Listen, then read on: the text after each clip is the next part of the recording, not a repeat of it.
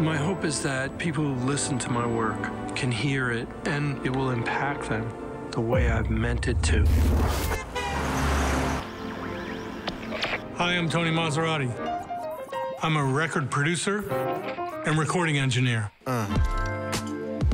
When I sit down to work, I take something a band has recorded and then try to dial in all the subtleties. I'm going to find those emotional cues and try to accentuate them. Elements that grab the listener, that create impact.